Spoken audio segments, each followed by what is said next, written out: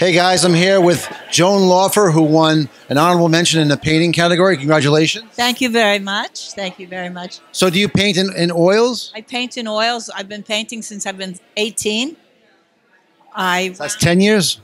yes, it's 10 years ago. I originally uh, wanted to be a full time artist, and my dad said, No, no, no, you won't make money.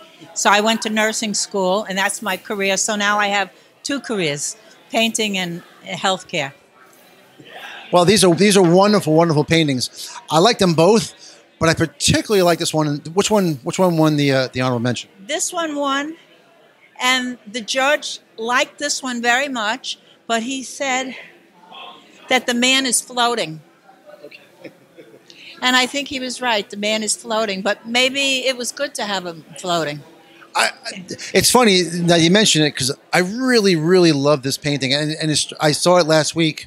You know, because I'm in the building already, and um, what I really loved was that that the red is so stark against these grays, and then then his color and and even his floating element, he's he's kind of ambivalent.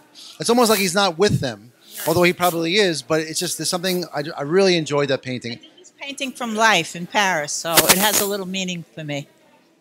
Well, it's really beautiful stuff, Joan, and congratulations. Okay. Thank you very much. Thank you.